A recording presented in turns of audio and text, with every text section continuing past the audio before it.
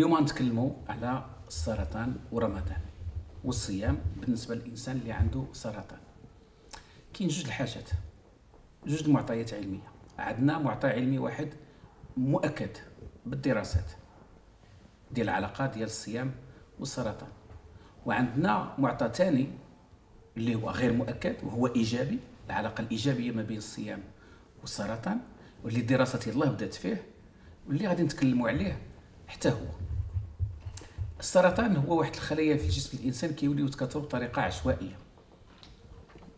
السرطان هو في الجسم الإنسان كتكون واحد الخلايا كتبقى تتكاثر بشكل عشوائي في الكبد أو في القلب أو في الدماغ أو في الدم أو في غيره.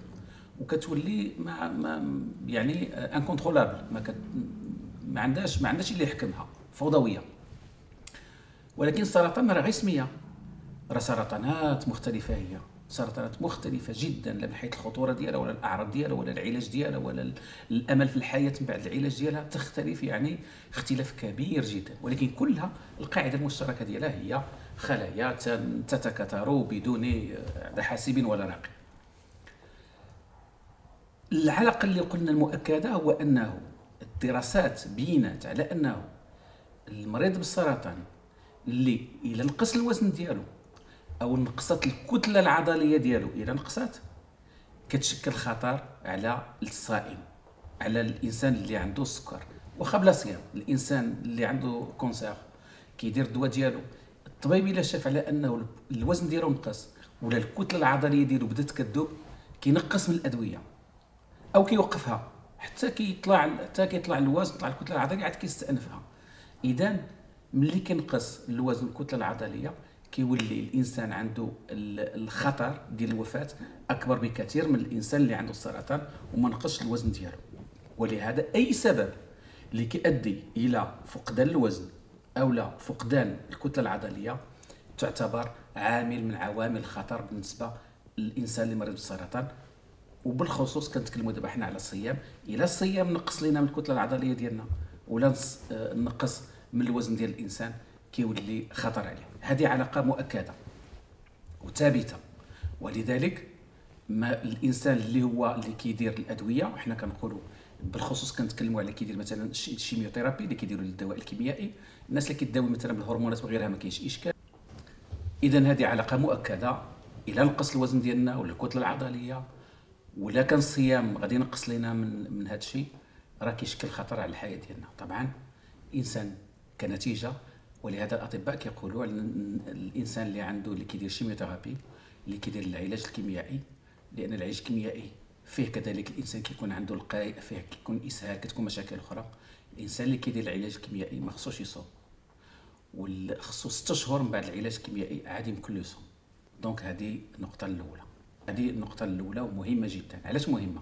لأننا كنسمعوا بزاف الناس كيقولوا دي باللي راه صام باش يعاون السرطان يعاون العلاج ديال السرطان. إحنا شفنا باللي آه، مع الأسف الصيام سواء الصيام الديني اللي إحنا عندنا في الإسلام ولا الناس أخرين اللي كيديروا الصيام الطبي ولا غيره إلا نقص لنا في الوزن ديالنا ولا نقص لنا في الكتلة العضلية كيولي خطر علينا آه، السرطان وكيولي كيقتل أكثر آه، أكثر وأكثر ولكن في المقابل كاين دراسات كثيرة جدا اللي كتأكد بأن اليوم شوية بشوية على الأقل دراسات اللي كاينة دابا في المختبرات كاينة دراسات على الحيوانات اللي كتأكد بأن اليوم يعني الصيام الصيام الصيام الطبي هو اللي كدار عليه الدراسات كيمكن له يساهم في التقليل من الأثار الجانبية ديال العلاجات الكيميائية ديال آه، ديال السرطان.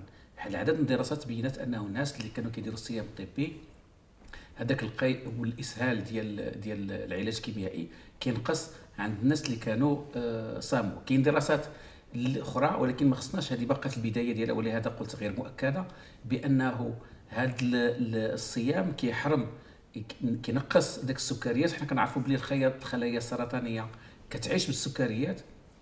كنعرفوا كذلك على أنه الجسم ديال الإنسان كيعرف الخلايا السليمة الصحيحة في جسم الإنسان.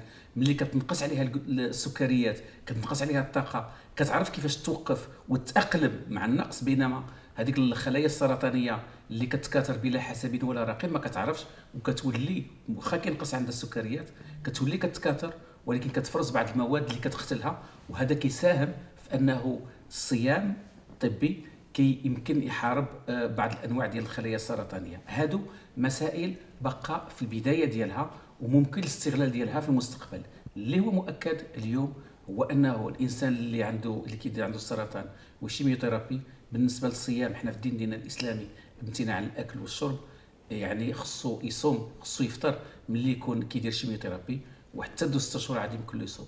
ولكن الافاق هي مفتوحة جدا بالنسبة للمستقبل على أنه الصيام كيمكن تكون عنده فوائد إيجابية في المواجهة ديال الاثار الجانبية ديال الأدوية الكيميائية وكيمكن تكون عنده حتى أدوار في المواجهة ديال الخلايا السرطانية ولكن هذه معلومات باقة كت يعني في المختبرات وعلى الحيوانات باقي خصها دراسات وتجارب على الإنسان باش يمكن لنا نستخلصوا منها الدروس النهائية.